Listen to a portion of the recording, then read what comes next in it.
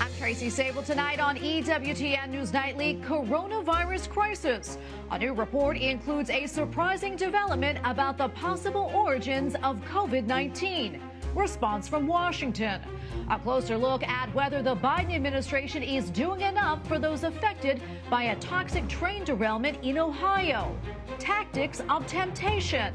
The Holy Father examines the three ways the devil tries to divide the faithful. And on the road again, we'll tell you which European country the Holy Father is set to visit later this year. These stories and more tonight.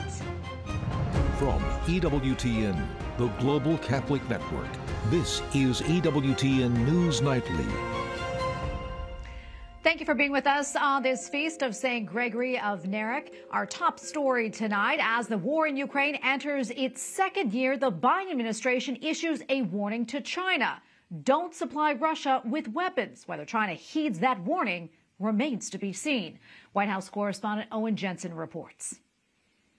The Biden administration says if China goes down that road and supplies military assistance to Russia, it'll come at a real cost. As President Joe Biden arrived back at the White House from a weekend in Delaware, not taking any questions, it was his national security advisor the day before who said the U.S. is being vigilant and watching China carefully to see if it's supplying Russia with military aid. So far, no sign of it. And we will continue to send a strong message that we believe that sending military aid to Russia at this time when they are using their weapons to bombard cities, kill civilians, and commit atrocities would be a bad mistake, and China should want no part of it.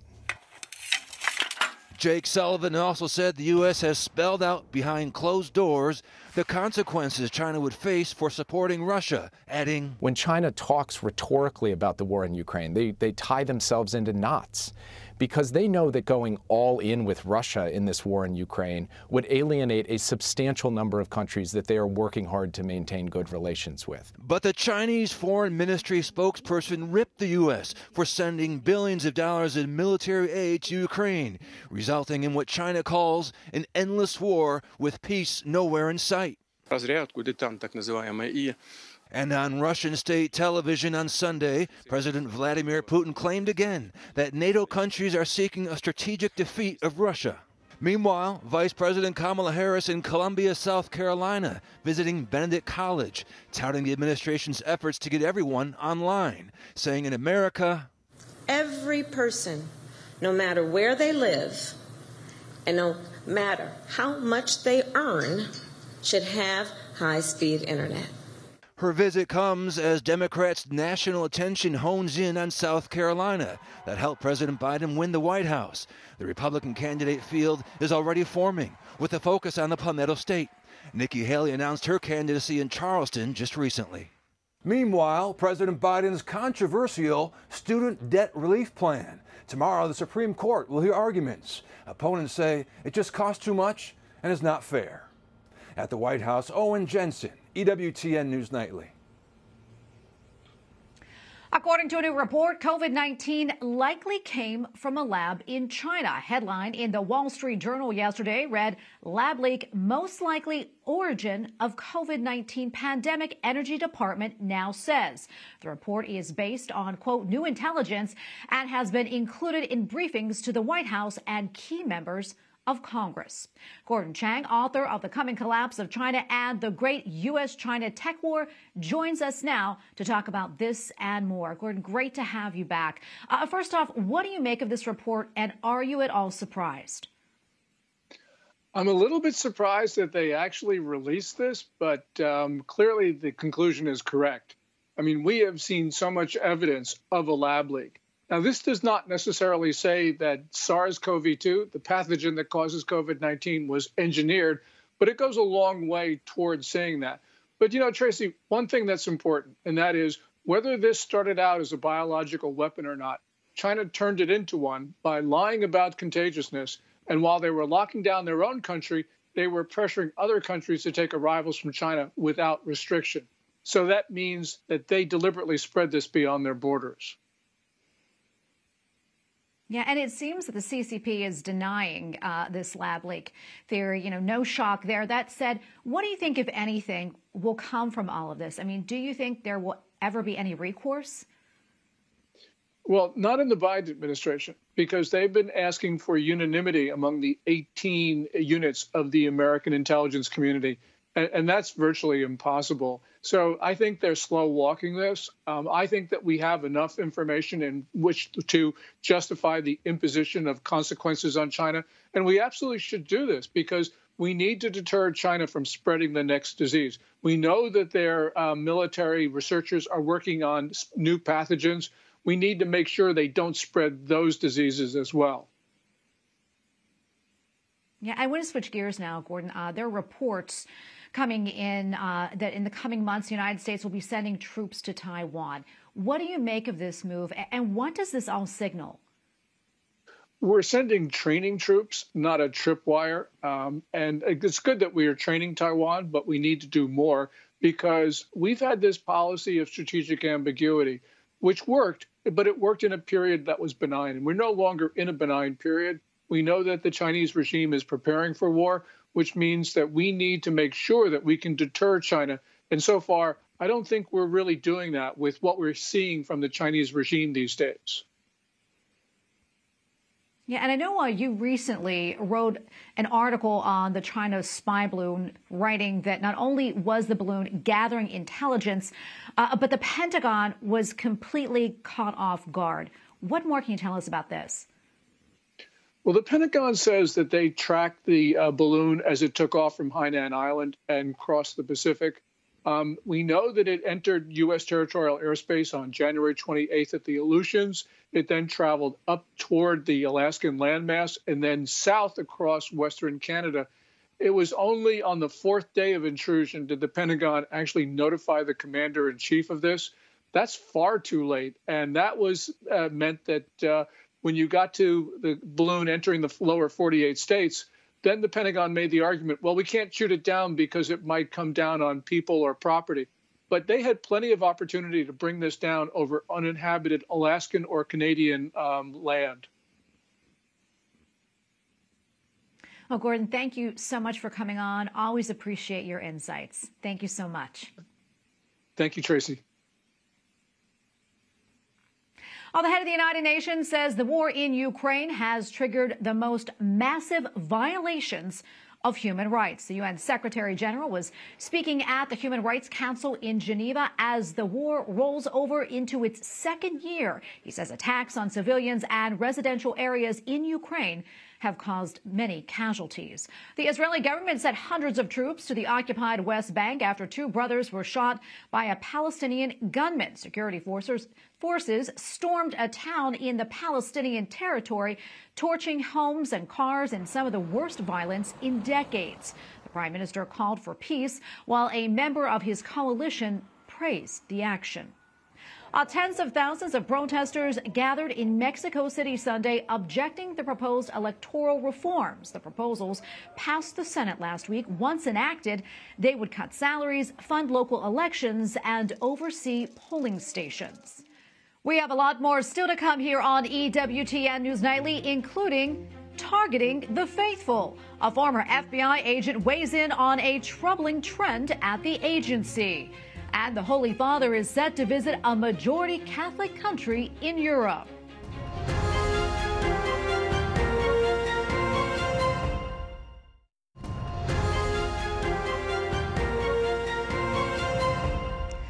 Makeup of the U.S. House may soon be changing. For the first time, House Republicans are calling on one of their own, Congressman George Santos, to resign. The embattled New Yorker has admitted to falsifying his background. He also faces allegations of campaign finance problems and even sexual harassment. Capitol Hill correspondent Eric Rosales reports. New York lawmaker Anthony D'Esposito is the first House Republican calling on Congressman George Santos to step down. He says Santos lied about his mother being inside the Twin Towers on 9-11 just before they collapsed. He says it's disgusting when it was revealed that Santos's mother wasn't even in the same state. I mean, my chief of staff's father died in 9 11. I mean, this is something that's important to so many people in this district. And to make a mockery out of it because he thought that it would help him get on a ballot, it's just, it's completely insane to me. With only a four seat House majority, Santos's resignation or losing his seat might mean a Democratic gain of one. House Democrats will also see some changes. Congressman David Cicilline, just elected to a seventh term, announced that he'll be resigning June 1st to run a Rhode Island nonprofit. This is an opportunity to come home and continue to work on the issues that I really care about and work within an organization that I know is going to get things done. When I look at the House, particularly right now, I think it's going to be difficult to get anything done under Republican leadership. Senate Democrats may also see some new faces in 2024. And we have to stop these mega extremists who think they can control people's bodies and dismantle our democracy. California Congresswoman Barbara Lee announced that she's running to replace retiring Senator Dianne uh, Feinstein. Plus, Senator Jon Tester is among a host of Democrats defending seats in 2024.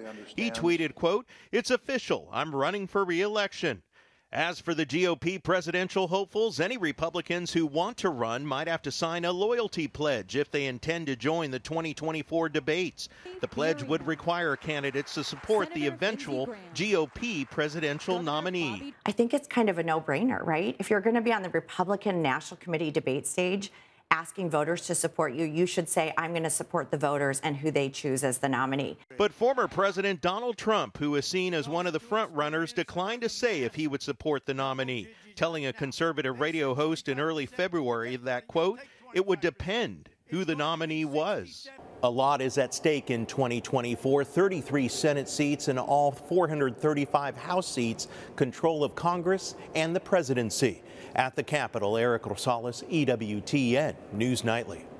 Meantime, as House Republicans launch their investigation into Transportation Secretary Pete Buttigieg's response to the fiery train derailment in East Palestine, Ohio, environmental officials insist the air quality is normal and cleanup from the site can carry on. 38 train cars carrying volatile chemicals derailed earlier this month. Amid fears of potential explosions, officials opted to release and burn the chemicals. After a series of home screenings and air quality tests, the EPA decided that shipment of contaminated waste away from the site could safely resume today. And joining us tonight with more is Chris Bedford, executive editor of Common Sense Magazine. Chris, great to be with you. First off, what's your take on all of this? Environmental officials say the air is clear in East Palestine. However, you know, many residents would beg to differ with that. Well, yeah, I think I'd side with the residents on this, especially after the last couple of years we've had of absolutely junk science coming out of our government and out of our experts and defying what people can see with their eyes when you have news crews going there who are getting rashes, who are feeling physically ill throughout all of them, when you have pets that are getting ill, when you have residents that are getting ill, when you have a sickly chemical smell in the air, and we live in a country now where it's estimated that about half of American women will get cancer in their lifetime, and almost that many men, whether there's a reason for these residents to be weirded out and to be frightened, to feel like they're not getting the full story. It's difficult to really parse through exactly how badly this administration is bungling this sort of thing. The the Democratic, the Biden administration, especially in the State of the Union, have tried to been have been trying to win back white working voters and get back to that block that they used to have. Environmental and regulatory issues are right up their lane. Infrastructure issues are something that plays very well with Democratic voters. All of this comes in. And on top of that, Joe Biden is someone who's supposed to be sort of the consoler in chief, someone who has a super ability to make people who are hurting feel comfort and feel like he understands that. For some reason, not a single one of these things has been brought to bear, and, and it's hard to guess why. If it's just sheer incompetence, or if the people of East Palestine and other folks like them really do rate that low on White House staffers' agenda.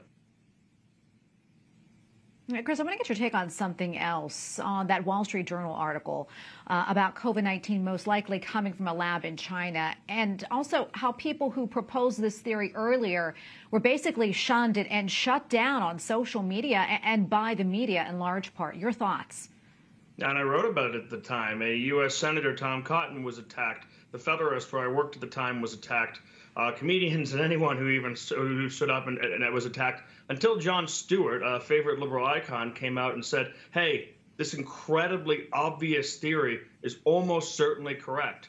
And then, like with so much of COVID, a lot of the folks who've been pushing this complete madness in corporate media and in government just kind of chuckled and said, oh, yeah, well, you know, who knows? It's a developing story. In the meantime, though, in real time, they had organization disinformation reporters, which is a strange term, going after anyone who would attack it. They were or who would suggest this came from a lab, something that was fairly obvious. There was social media censorship. The government was working with social media companies to censor. This is a massive overreach, and to just go beyond it and for the government to say, "Oh, all is well that ends well," that'd be a mistake. The American people deserve answers on this, and people should be held accountable. Chris, we have probably about 30 seconds left or so, but what else are you following? I am following the Marymount University, which is uh, one of the Catholic universities near me right now, that just had to gut its uh, liberal arts programs, gut its theology, gut its religion studies as part of a decline that we've seen across the country in Catholic education. Uh, it's something that I think we should all be following closely as our Catholic universities go more and more secular and go further and further away from church teaching, a lot of them are, are, struggling financially, going under, and that's something that local residents and people who are involved in their parishes really ought to be paying attention to because it's something that we can. There are things that we can do to stop that. Okay, we're gonna leave it right there, Chris. Thanks so much for weighing in. Always appreciate it. Thank you.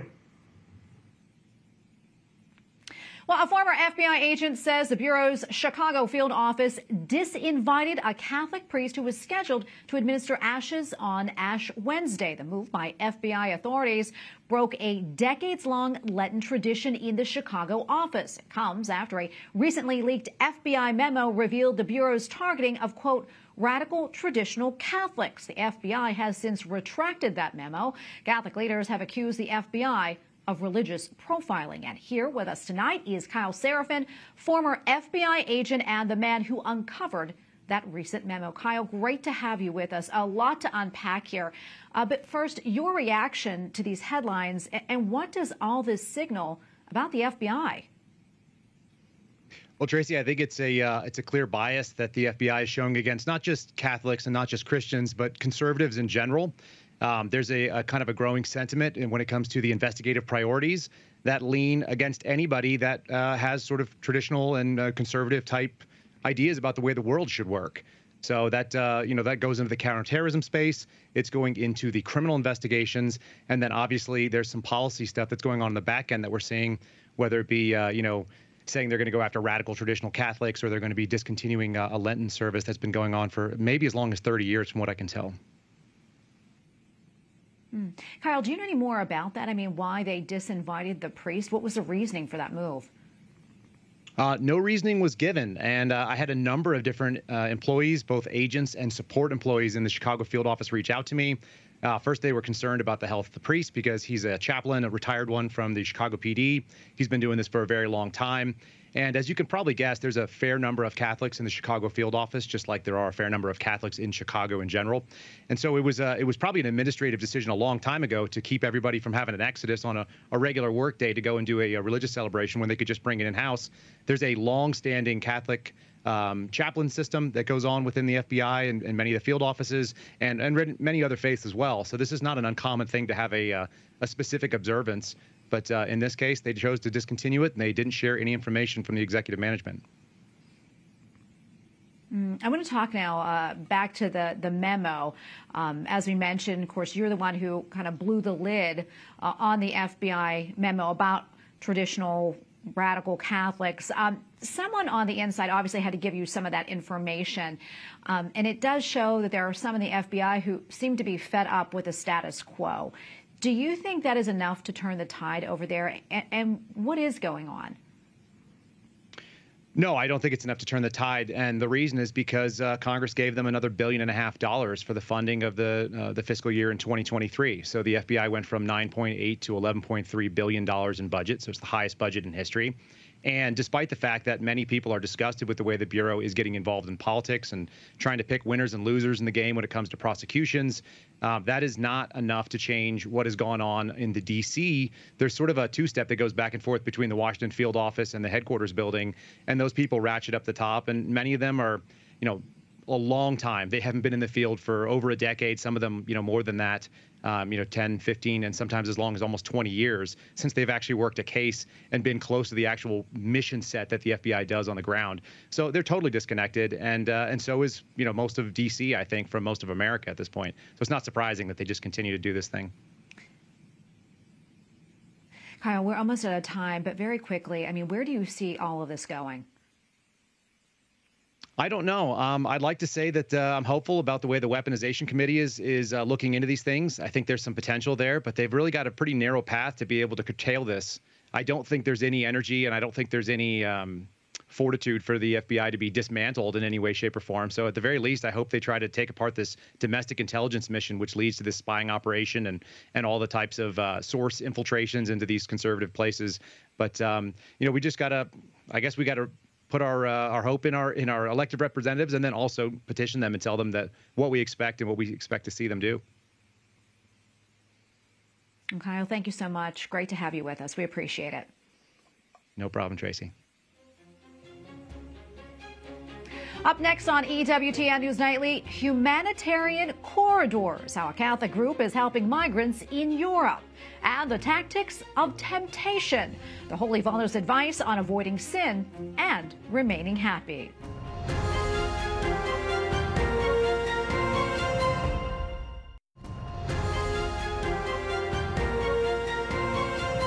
Around 100 refugees from Afghanistan arrived late last week in Rome. They did so through an initiative called Humanitarian Corridors. The migrants will be hosted in various dioceses, churches, and communities throughout Italy. The initiative is organized by Italy's Catholic and evangelical churches, along with the Italian government and other groups. The work has even drawn the praise of Pope Francis. We go now to Oliviero Forti, head of the Migration Policy Office at Caritas Italy, one of the groups involved with the humanitarian corridors. Oliviero, thank you so much for joining us. We appreciate your time. Can you tell us more about the refugees from Afghanistan? Um, how long did it take them to reach Italy? And what type of danger were they in in their native country? Yes, thank you for this opportunity. Um, about the humanitarian corridor is a program implemented by Caritas Italiana, my organization here in Italy. And uh, in this particular moment, we are working on Afghani refugees from Pakistan, because as you know, after the arrival of the Taliban in Kabul in August 2022, thousands of Afghani people fled to the neighboring countries where they are living in a very hard situation, in particular women and minors. And through our program, the Humanitarian Corridor program, we are giving them the opportunity to be resettled in Italy, where they are hosted by our communities and supported in the integration process. The last arrival has been a few days ago here in Rome in, uh, in the Fiumicino airport. Many of these refugees resettled are Hazara origin, a minority discriminated in Afghanistan and also in Pakistan where they are living now. And I know uh, at a recent conference, you also talked about the Ukrainian people and the plight they face in their war torn country. How is your group able to help them? So you have to know that during the last year in Italy arrived around 170,000 Ukrainian people, and the Caritas network started immediately to support these people, receiving from 10, 13,000 persons in need. And this big effort has been possible thanks to the contribution of all communities who supported the refugees, giving them an house, school integration for children, and health support. And I know, unfortunately, um, there's also sad news about the loss of life of dozens of migrants who were trying to reach Italy. Uh, the Holy Father prayed for them yesterday in his Sunday address. Um, what more do we know about them in this tragedy? Yes, yesterday the Hampton tragedy of the sea took place uh, along the Italian coast. For many years, the church, the Pope, but even the Italian church, has been holding the Italian government and Europe to their responsibilities.